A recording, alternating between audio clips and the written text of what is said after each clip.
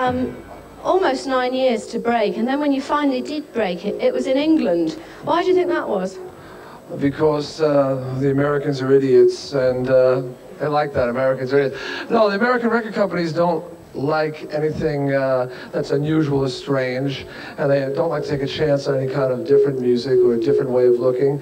And they're always watching Great Britain to see what Great Britain's doing. If Great Britain signs Boy George, they sign 27 Boy Georges just like him. So we figured if they were watching Great Britain, we'd come here and get our start here, and then maybe they'd recognize us then. And as a result, it has happened in the United States. We're about a million and a half records in five months now in the States and two million records worldwide, so it's finally happening. And you know why? Why? Because of the tube. This is the place where we got our start. What was that? Yeah, let's hear for the tube. And I'd like to comment that you look just a little bit different than the last time I saw you, Hey, darling. I've lost four stone. Yeah, four stone, and her name is Fifi. Now, what did you um, look like when you first started? The same way we look now, like, well, not like this, like we look like this.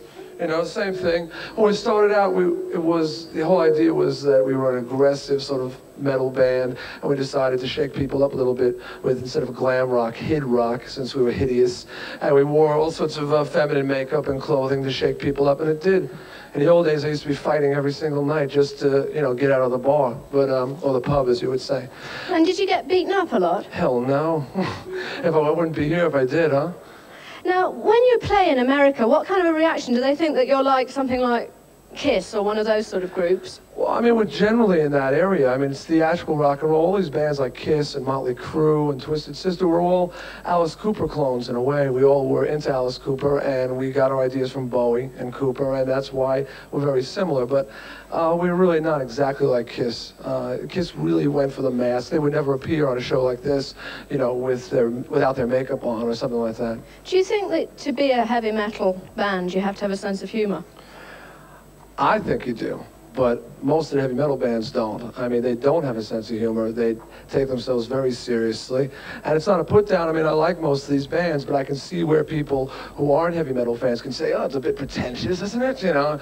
And uh, I mean, if you can't step back and see that there's humor in everything in life. Humor in politics is humor in TV shows, and there's humor in heavy metal. And if you can't laugh at a thing like the Young Ones Bad News Tour or Spinal Tap or something like that, if you can't see the humor in what you're doing, then I think you're really going to have a problem dealing with the world.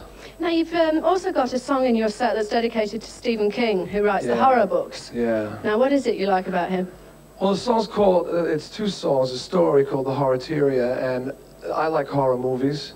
The Exorcist is probably the greatest film I ever saw. I mean, I like to be scared, I like to be shaken up. And Stephen King, it's better than a movie because he, he plays with your mind. And uh, I've just read everything he's ever done, and a lot of bands have. I mean, The Alarm uh, uh, from this country, they have a song called The Stand, which is, or an album called The Stand that's named after a Stephen King book.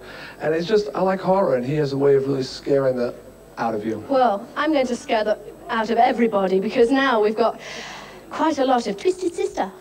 All right. I like the hair.